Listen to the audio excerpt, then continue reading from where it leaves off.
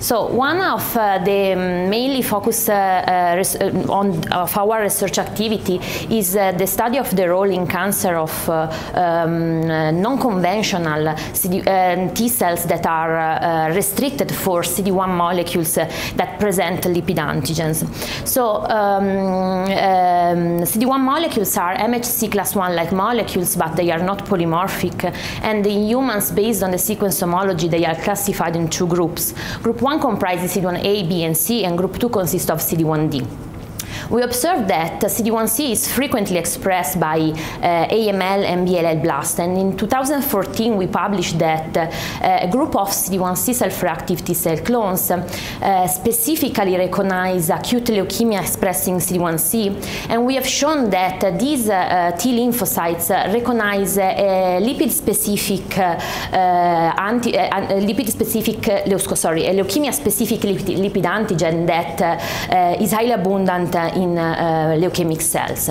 So uh, based on these results, uh, we decided to target uh, leukemia with CD1C self-reactive T cell clones, but uh, uh, since there are no specific markers to easily isolate MLPA-specific T cells to expand them in vitro for adoptive immunotherapy, we needed to retarget T cells by the transduction of um, MLPA-specific leukemia-specific leukemia, oh, sorry, an MLPA-specific CD1C restricted TCR.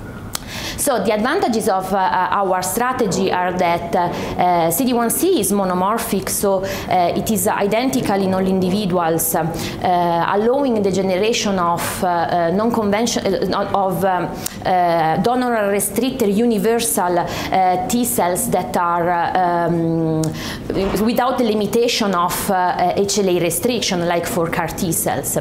CD1C is not expressed on parenchymatous organ, so it is expressed only on cells of hematopoietic origin. Therefore, this should minimize the induction of GVHD uh, following adoptive immunotherapy.